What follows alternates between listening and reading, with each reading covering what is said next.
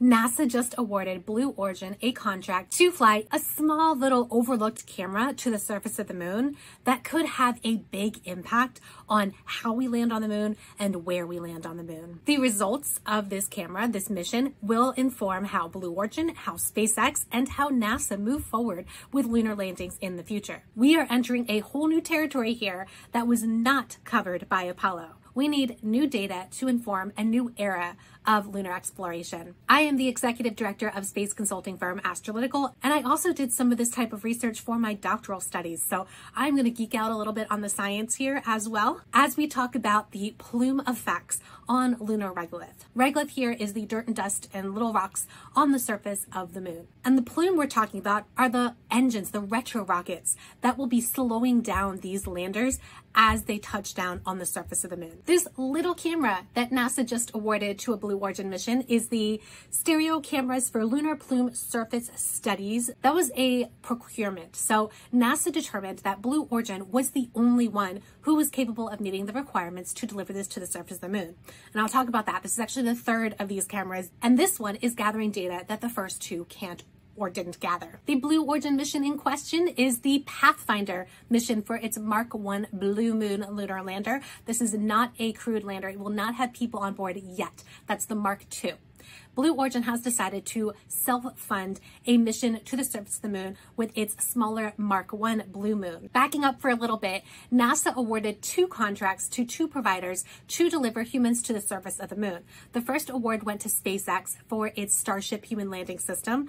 That will deliver astronauts to the surface of the moon and back up again on Artemis 3 and 4. Blue Origin was awarded the contract for Blue Moon for Artemis 4 and 5. But before those two companies fly people to the surface of the moon, they are going to land their own versions of their landers uncrewed on the surface of the moon, you know, to demonstrate that they can. Blue Origin has said that they are ramping up to fly Mark 1 to the surface of the moon next year. In fact, there was a recent Federal Communications Commission FCC filing that said that Blue Origin was preparing to land the Pathfinder mission on the surface of the moon at no earlier than March 2025. This would be on top of New Glenn, which is Blue Origin's new rocket that has not launched yet. They are hoping to launch New Glenn this year. I do believe that they will probably launch New Glenn this year, but launching it on its first test mission, uh, it hasn't gotten to orbit yet, let alone to the moon. So uh, they have to make sure, Blue Origin has to make sure that New Glenn is safe to fly this expensive Mark 1 Blue Moon on top of New Glenn before it even attempts this mission.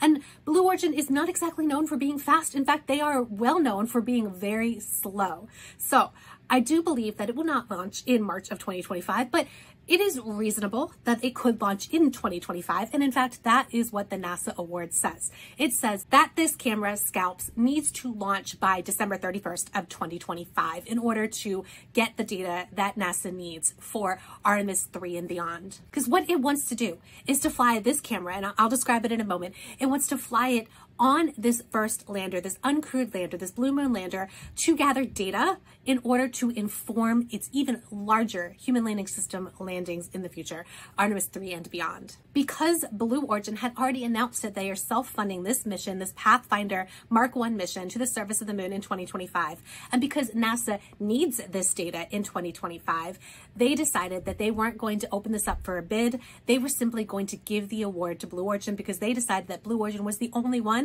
who could meet the requirement. And there's one more requirement here, which is it has to, the lander has to have a thrust of at least 8,000 pounds force. We do know that the Mark 1 has one BE7 engine. The Mark II, which is the human version, as well as a larger cargo version, that will have three BE7s. But the Mark I only has one BE7 engine, and that has a thrust of 10,000 pounds, for, pounds force. I did say that there were two other cameras that have already been built and awarded. Those were for smaller missions, the Commercial Lunar Payload Services missions CLPS. The first one actually flew on Intuitive Machines Mission 1, IM-1, which, as you remember from earlier this year, did land on the surface of the moon, but then tipped over. And while it was on its side, it did not have the comms ability, the bandwidth to get data from this particular instrument back to Earth. So unfortunately, even though SCALPSS flew on IM-1, it could not get the data that it needed. There is another mission that is going to fly SCALPSS. That is the Firefly Blue Ghost mission, which is scheduled for late this year. And again, that's a smaller lander. And so these smaller landers are not going to get the thrust needed. I'm going to go into the science of why we need the data from the higher thrust, why we want to understand what's going on as these landers, these heavier landers, are landing on the surface of the moon. Before I do that, I want to describe SCALPSS. SCALPSS is actually four cameras that are mounted to the lander to provide that stereo point of view. We want three dimensions. It starts imaging around 30 seconds prior to landing, and it is capturing the stereo imaging about 84% of the surface of the moon as is as the lander is landing. And then it is also capturing the entire landing process all of the interactions of the engine, the retro rockets, the plume with the surface of the moon, with the regolith. So it will surface about 13 square meters of the surface of the moon as this whole landing happens. There has never been this kind of imaging as a lander has landed on the surface of the moon. So Apollo had cameras, but it was not able, it was not designed to capture this kind of interaction. There have been studies that have looked at Apollo imagery and tried to piece together that interaction, what happens with the whole landing process. And there's only so much we can get from one, that technology. The cameras weren't the greatest back then. And two, the fact that those cameras were not designed to capture this interaction. I'm not going to give it a whole science lesson here, but there are two reasons why we care about what's going on here and why it would affect future missions, especially these larger missions landing humans on the surface of the moon or lots of cargo to the surface of the moon. First, is it safe to land a large lander? The human landing system landers, they're heavier than the Apollo LEMs. They're heavier than anything we've landed on the surface of the moon before. The concern is that the erosion process, the way that the gas from those engines goes through the surface of the regolith and interacts and erodes away, as well as creates un perhaps unstable little crater or large crater under the lander could endanger the lander as it is landing. This is before we build any kind of landing pads, before we build any kind of surface which can be more stable.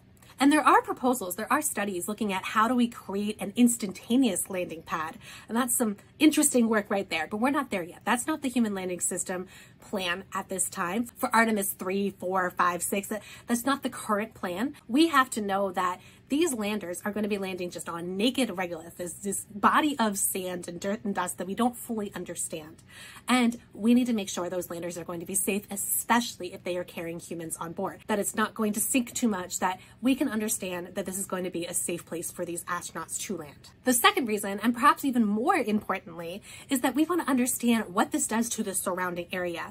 We know from Apollo that sandblasting happened during the Apollo LEM landing. So I have actually held a piece of the surveyor camera fabric in my hands and looked at the little pits caused by sandblasting from the lunar regolith during this landing process. If you have other facilities, buildings, anything that is nearby the landing site that you don't want damaged, that you don't want sandblasted during a landing like this, you need to know what that safe distance is. You under, need to understand what we call the ejecta blanket. How much of the regolith is being kicked up and where is it going? How fast is it going? Is it going to cause damage to anything in a certain radius? We want to understand this not only for you know, the facilities, the, the uh, friendly facilities, the facilities that NASA puts up.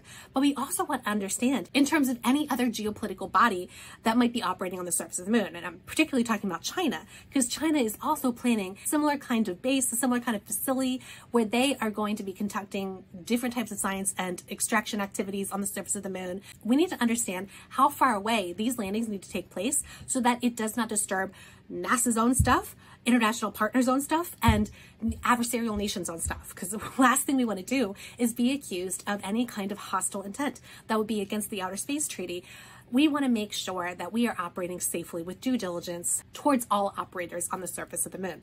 And not only that, there is concern that we might kick up regolith that actually goes into lunar orbit.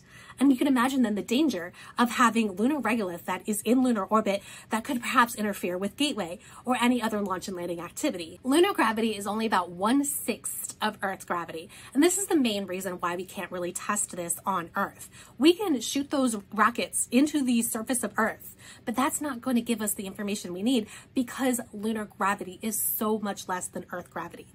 And there are various ways to test microgravity, reduced gravity conditions. In my graduate studies, we went and did some parabolic flights where we had about 25 seconds per parabola. This was with both NASA and with Zero G Corporation, where we looked to see what happens if you're in microgravity and if you're in lunar gravity, because those planes can also do lunar, Martian, any kind of reduced gravity environment.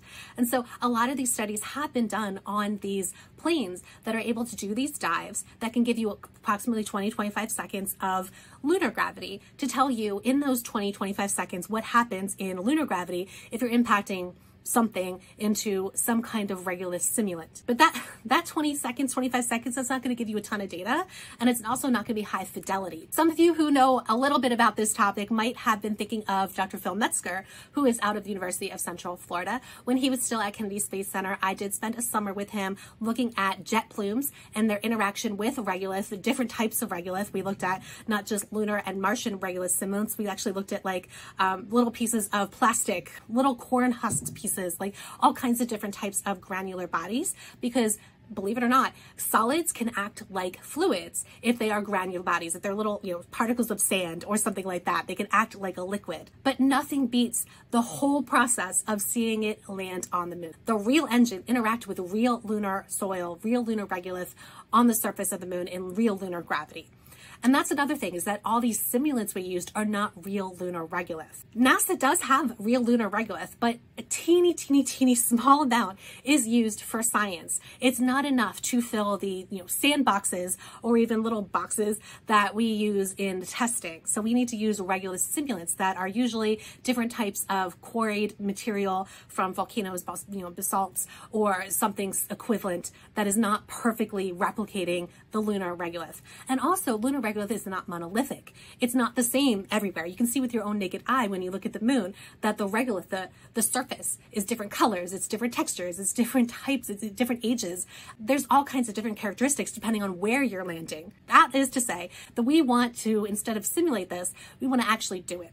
And actually doing it will give us the data we need for modeling so that we can simulate it a little bit better in computer models so that they can ensure that future landings are safe. Now this award, it's a tiny little thing. It's like $6.1 million that NASA awarded to Blue Origin. This is going to be under the radar for so many people, but it could really have long lasting effects if we determine certain things need to change about the Artemis base camp or the way that we're doing landings for Artemis 3 and beyond. It could even inform how Starship operates and lands on the surface of the moon or on Mars in the future. Because remember, Mars is also a place where there's a lot of regolith and a reduced gravity body. So this little camera, this little, actually four cameras, is actually super important to how we operate in the future, which is why lunar data, gathering the basic data that we need to the lunar science is so vital to how we do engineering, operations, and all aspects of mission planning. If you happen to be a decision maker out there, don't neglect the science. It's important.